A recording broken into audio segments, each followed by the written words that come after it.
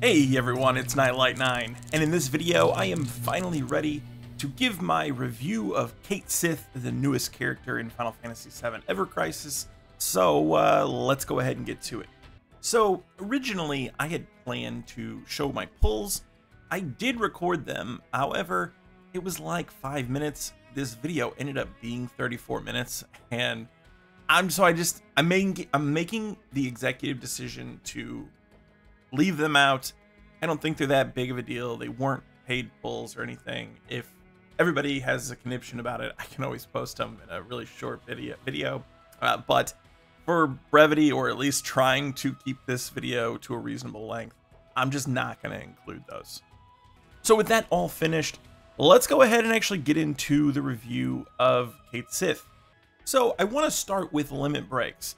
And the reason is I think limit breaks are one of the big things that sets characters apart in this game. And now that we have three to choose from, it's even more so. And so we're going to go ahead and go down here and just look at all three of these limit breaks. This is what we're looking at. We've got Dice, Toy Box, and Moogle Dance. And I'm going to start off by talking about Toy Box and Moogle Dance because I think these are fantastic. And you'll see more when we go into the weapons review. Cait Sith is really a utility hero.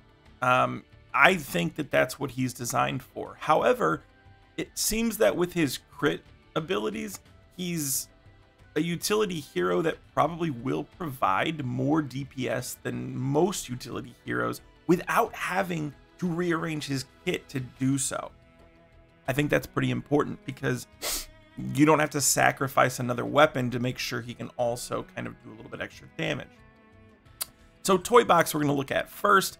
We don't really care about the damage number that much. What we're really caring about is this right here. This is essentially a copy of Tifa's Somersault. So we've got physical defense, magical defense, decrease, potency mid. That is what we want, single enemy. I started using Tifa in this game mostly one of the biggest reasons was because of this. This made content so much more doable for me. Now, the second reason I used Tifa was because of her debuffs on enemies other than this, like the, you know, debuffs that were helped survivability, right? Physical attack and magical attack decreases. And we'll get to that.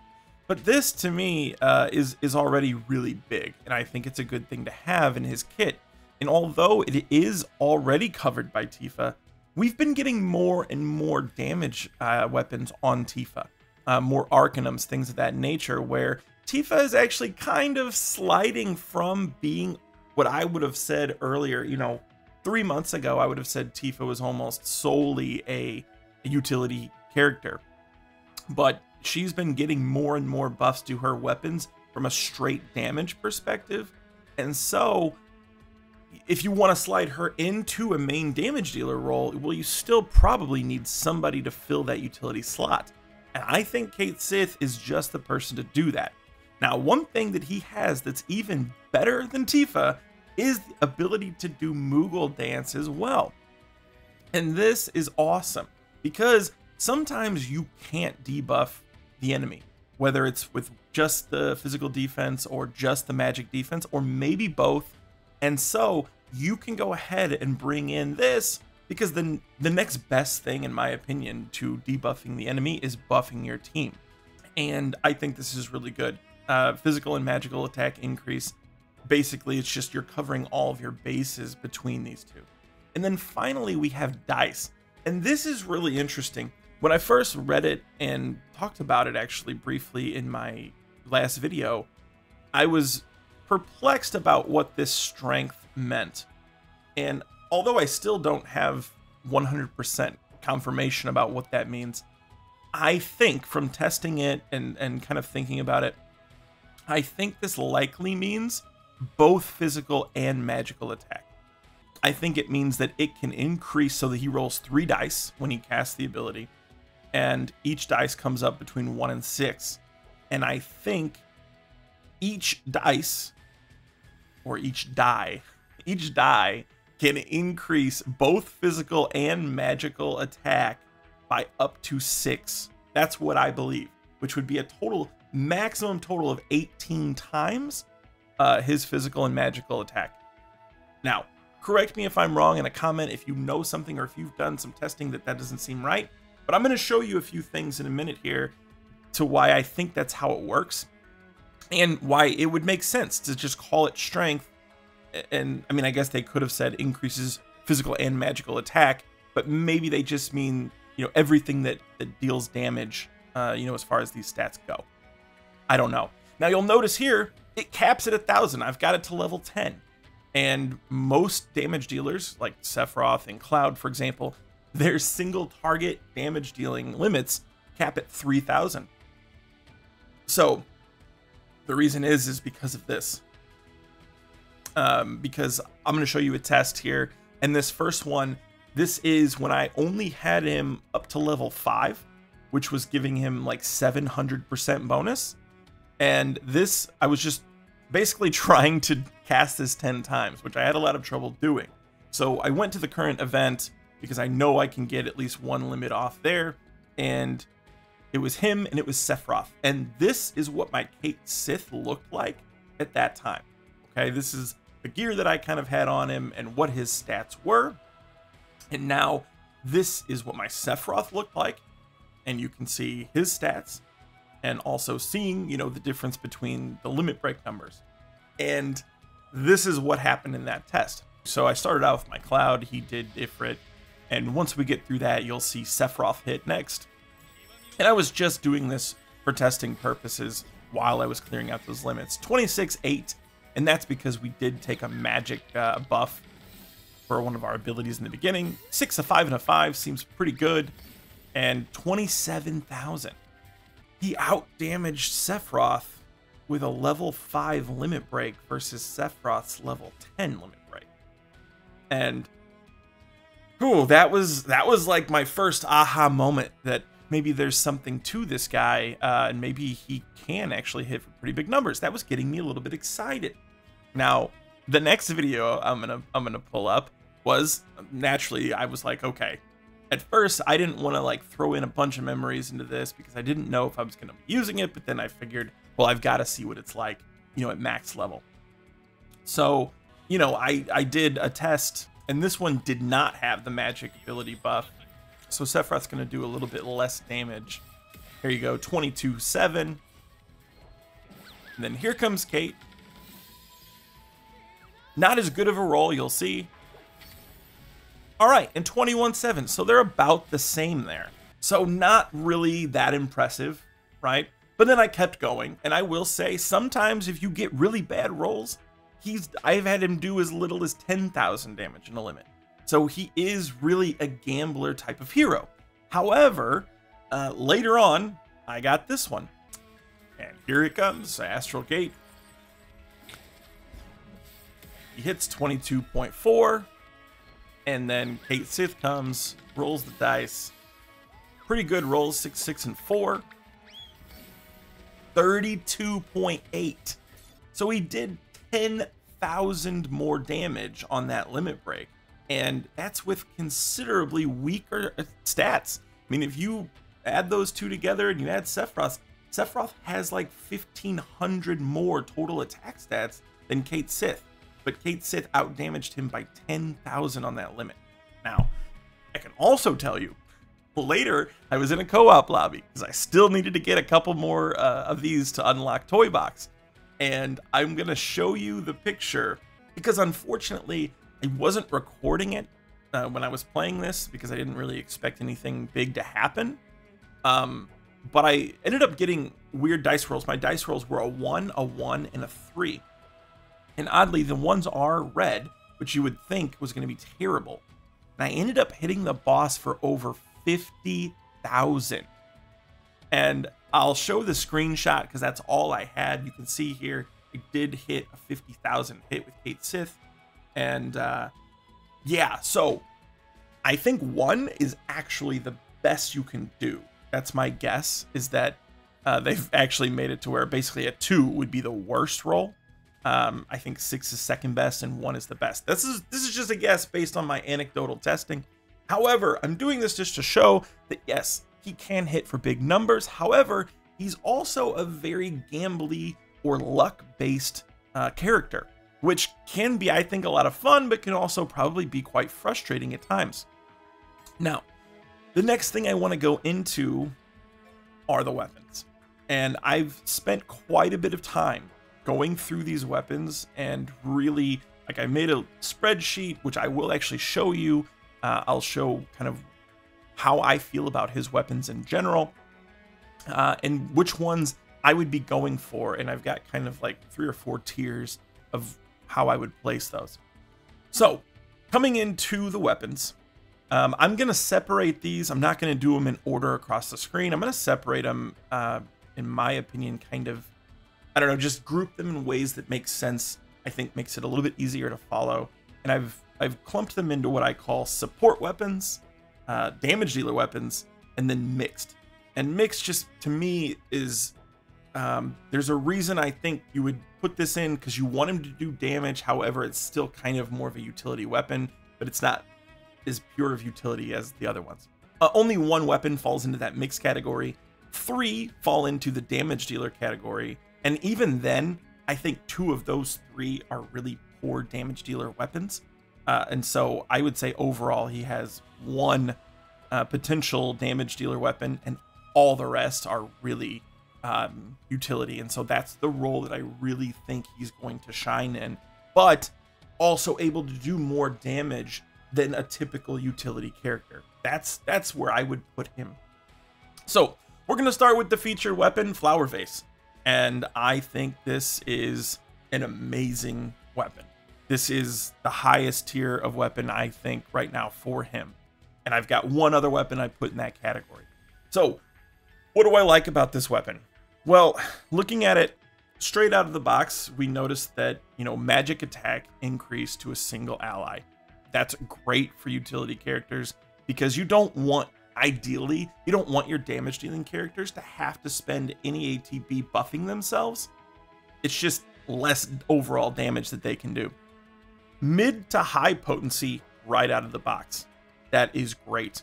Going up to high to high potency starting at OB6, also great. It's got an insane magic attack, our ability.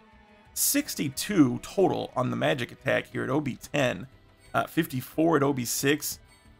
That's big. And they didn't punish him, I don't think, on this one here. I think 39. Maybe there's some that go up to 46, but I think that's pretty standard.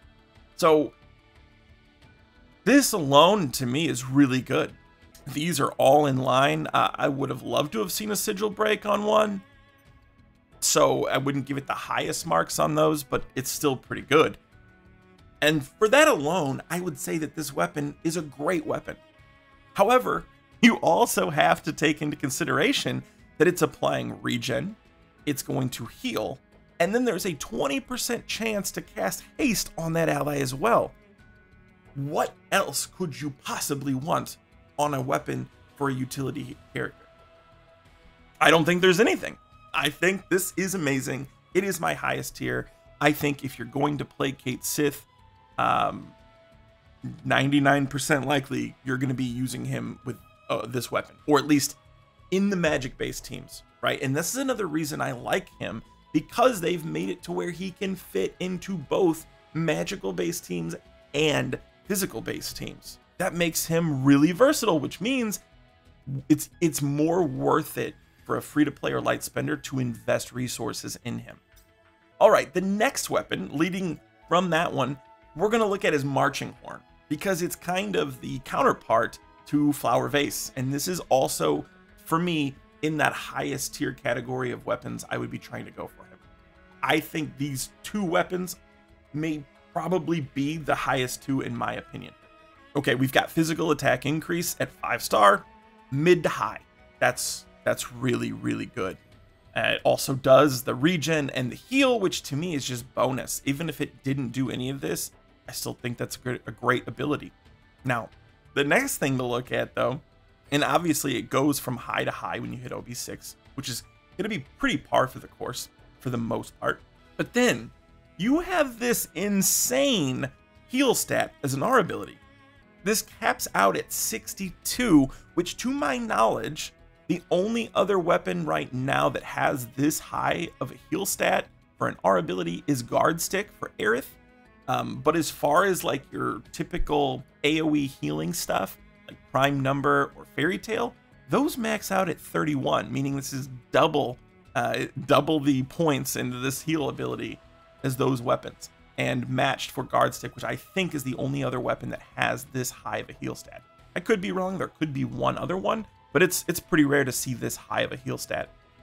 Now, he doesn't have an AoE heal available to him yet, uh, so I don't know how great that is for him. However, it could also make this weapon doubly good because it can be a sub weapon for a healer if you're not using him or not needing this particular weapon in a battle. Now, the buff debuff extension, this is perfect for him. Perfect for him. And, you know, one of the differences between this and Guard Stick, for example, is Guard Stick has this as well, but it's 20% and it's in the materia slot. So that definitely makes this, I think, better to have it here because you can use it for everything instead of just one materia. And I think, again, buff and debuff extension is something that is really good for his kit because most of the stuff that he's going to be doing for your team revolves around buffing and debuffing, almost 100% of it. So, those are the two best weapons in my opinion. Uh, the next one we're going to look at, though, coming down for support weapons is the Crystal Megaphone. And this is just your standard instant barrier, solid barrier kind of thing where he's going to increase the defense of a single ally and it's mid to high right out the box, which is very good. It also gives the regen and a small heal, and I, that's about everything I really have to say about this. I think it's a fine weapon. It's not on my, you know, top of the list by any means, but when it's necessary, it's necessary. You know, if you were doing specific content that needed a physical defense increase, well, then the value of this a weapon like this goes up, you know, a lot. Okay, moving along, we've got Silver Megaphone next. And uh, again, it's just another one of those things that you have in the kit. It's got a physical defense decrease to a single ally. It's also got 20% crit rate. And this is kind of the first weapon where we get into if the crit procs, then he gets extra bonus uh, debuff. And the way his crit procking works with his weapons, that can be one of two things. Either you get higher potency or you get a completely separate extra debuff altogether, which we'll see kind of moving forward. But here, you know, you're looking at physical defense decrease and it's only low, max low, and that stays the same even at OB10. However, if you crit, it's high potency, and that doesn't matter if you have it even just 5 star, 20% chance, it's high to high. And to me, that makes this weapon good just to have a 5 star copy. You don't really have a need as a free to play, especially, I don't think, to get this much higher unless you're looking for R abilities or something else. Uh, so I really do like this, and um, it's good, but I think you only need really one copy. So there's the Silver Megaphone. The next one we're going to look at is Battle Trumpet. And then again, this one is it's a physical based weapon, and so was the Silver Megaphone. In fact, of these, this is the fifth weapon that we are reviewing, and it's only the second one that actually has a C ability that does any type of damage. And the second one in a row that does physical damage and has a 20% crit rate, which he's the only character in the game that has any weapon that modifies his crit rate. And that's kind of a big deal. Because typically, if, if anybody has a crit rate, it's only 10%. So this one, what does it do? Magic attack decrease, uh, which obviously is going to be good for any utility hero. Magic attack decrease, potency low, goes up to mid, but it's all enemies. So this is looking a lot like Kuja Spirit Blade in that regard uh, especially when you consider if he hits the critical, it also does physical attack decrease to all enemies, making this the Kuja Spirit Blade that requires a crit instead of an HP threshold. That's kind of how I see it. And when you get to OB6, you're looking at mid to all enemies, right? And if the crit happens, it's high. Okay? Um, now, the only bad thing is, is that magic attack decrease stays at mid. It never, it can't stack up to high. However, the physical attack one can, starting at OB6. So, uh, just, but actually it can, sorry, it can stack to high at, at five star. I know that's kind of the one thing I, I found when going through Cait Sith's abilities is that there's so much text in every single one of them. And this is why I didn't want to do this review right away. I really wanted to take some time to digest these because there's so many things to really consider. And again, it's why I'm going to show you kind of the cheat sheet that I made highlighting kind of the most important things of every weapon. And I will show you that at the end. Battle Trumpet though, before I come off of it, it is the uh, next tier down. Okay, so I'm gonna put like you know I don't know A tier, which I'll label in pink on my sheet.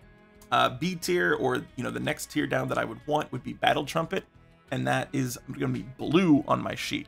And this is the only blue weapon, so this would be the third next weapon that I would want, probably after Flower Vase and Marching Horn. But honestly, it could probably be up there with those two. To be honest with you, it's it's I think it's really quite good. Okay, the next one we're gonna go to Gold Megaphone, and this one I have on like tier three, um, which I've labeled in orange on the sheet that I'm gonna show. And the reason is this one and the next one, which is Green Megaphone, I don't think they're as high of priorities as the ones I've already talked about, but you know, having a fire breach and then later a um, water breach those are really important when they're important.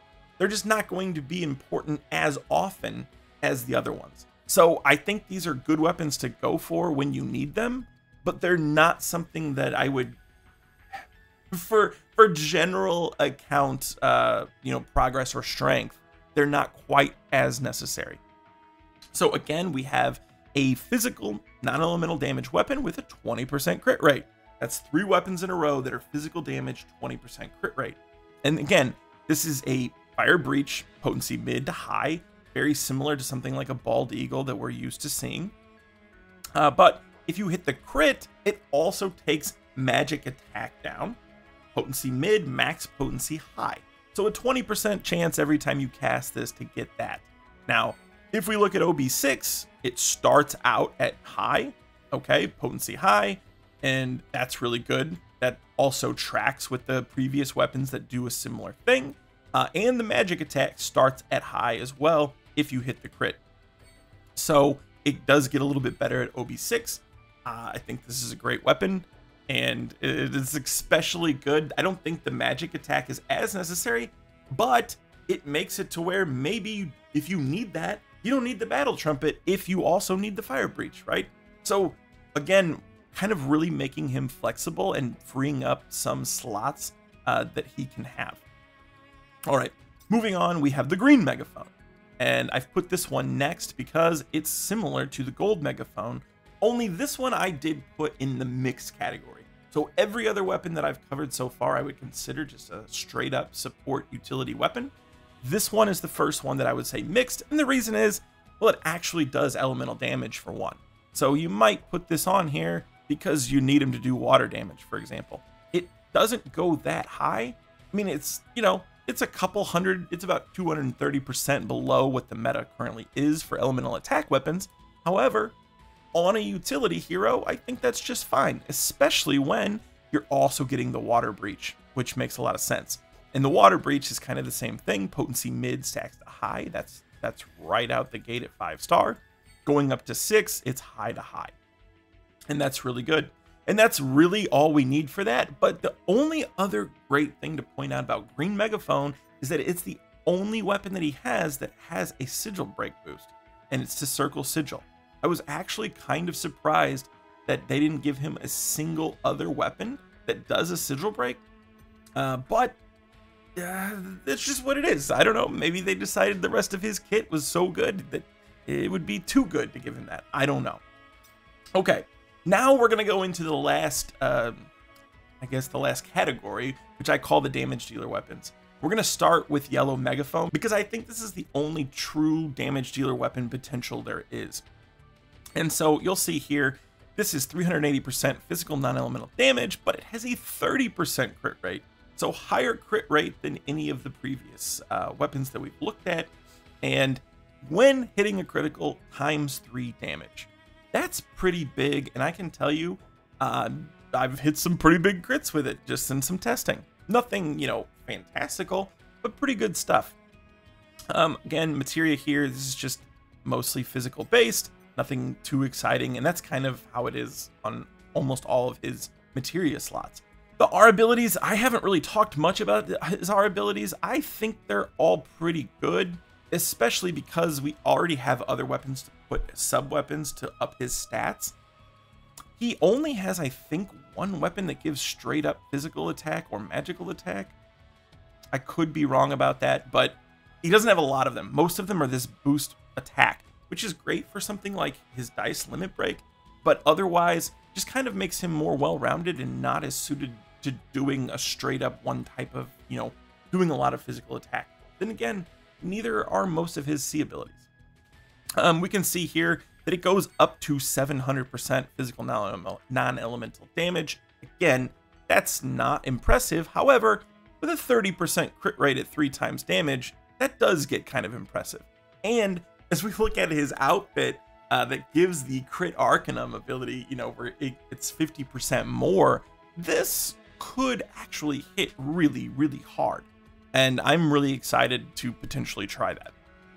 So, uh, this is, like I said, I think his only damage dealer weapon. If you were going to build him as a damage dealer, I think this is your go-to right now. Um, the last two are blue and red megaphone, and they're kind of like the whammies of the set to me. Why? Because, well, they're they're the only ones that started going towards a specific potency and doing the damage along with that. However, everything else in his kit is physical damage other than green megaphone. And so you're looking at out of all the weapons he has, so he has 10 total weapons, and I'm looking at one, two, three, four of them do physical damage, and three do magical damage. But the problem is, uh, this all enemies really kind of hurts the style here for me. Um, you know, because 520%, let's be honest, I'm never trying to up this to get him to do a bunch of damage to ice. Just not happening. So for that reason, I think this is like kind of just I I wouldn't I wouldn't want it at all to be honest with you. Um, and then the red megaphone is the same thing, only it's the fire version. 520%. I mean the HP is nice. Uh, and the fire potency is fine too. I mean, I'm I don't have a problem with that. It's just the fact that they decided to make his all three of his elemental damages. He can do water, ice, and fire. They're all magical where everything else he does is physical. This feels kind of weird. It's a little bit disjointed for me. So for that reason, I'm I'm not excited. And again, this is the second one that's all enemies. And those are just not very popular and not really that useful at this point in the game. So those two are kind of whatever. All right. So here's the kind of the list that I made. I put it into a PowerPoint here. And so this is it. I would take Flower Vase and Marching Horn. Those would be my my top two uh, weapons that I would want. And coming down here, uh, Crystal Megaphone, definitely a good weapon. Silver Megaphone, I would say probably even better than Crystal Megaphone, but both definitely good. Just not something I would be rushing for right away unless my I was a new player my team needed that for some sort of content immediately. Coming down here, Battle Trumpet. And again, that could possibly be in this tier one of pink tiers. Um, but I thought it wasn't quite like I would rather have these two, especially because this one's featured, uh, and I feel like this is the counter to this, or you know the it, the balance to it. So I don't know. This this one is like, if I was gonna put these or like S tier, this would probably be like A plus, right? Uh, then we have again the gold megaphone and the green, which the breaches. So again, great stuff to have, but not as versatile, not as all around useful uh, as any of these three. And then last, uh, the yellow megaphone. I put it in green. To me, it's an honorable mention. It, it is a weapon they give you, and whether or not I would try to start this up, I'll be honest, I probably wouldn't. Uh, probably wouldn't. Uh, or at least not, you know, intentionally. I wouldn't wish list it because I just don't see Cait Sith being a damage dealer for my team. I mean, I've got a lot of other people that I've kind of invested into doing that. Maybe I'm wrong. maybe I get his costume or something and that changes. But uh, generally speaking, I don't think that that's the role he's going to fit in. I think he's going to be a utility hero that also dishes out more damage than a lot of the other ones because of his increased crit. That's that's kind of how I think. And again, it could be the difference maker in a lot of, you know, stuff where you get into those DPS race scenarios and you know, you just need a little bit more damage. Uh, one of the best places probably to increase damage would be taking out your utility hero and putting another damage hero. That's not doable. You might not survive. I think this is where Cait Sith shines. I can tell you, I am very impressed with the testing I've done with him. I also find his crit based, you know, gamble, luck based ability stuff very fun and refreshing to play. So I am absolutely going to be using him. And I can also tell you, I haven't quite decided on the wish list yet. I am going to figure that out next, but I will absolutely be pulling on this banner. And I hate saying this, but I think there's a great probability that I'm going to prioritize Cait Sith stuff over Tifa's initially. That's that's kind of what I'm thinking. I, I haven't made up my mind 100%. That's what I'm thinking. But I do want to close this video out. It is getting quite long, 34 minutes, but I really felt like it was important to unpack all of those abilities on those weapons because there's so much text. There's so many things to go through. Now, a lot of you might not want to go through it. And if you wanted, you could just check that sheet that I made. I think it's a pretty accurate or, you know, concise little cheat sheet. Let me know what you guys think of Cait Sith. Uh, are you going to be pulling on this banner for him or for Tifa? Obviously, you know, everybody knows that Tifa is the waifu. She is, you know, awesome. Um, we love Tifa, right? I mean, she is like my favorite character, but I also like the new invigoration of Cait Sith. So let me know what you guys think. Subscribe for future content if you're not already. If you are, you know I appreciate each and every one of your support. And as always, Thanks for watching.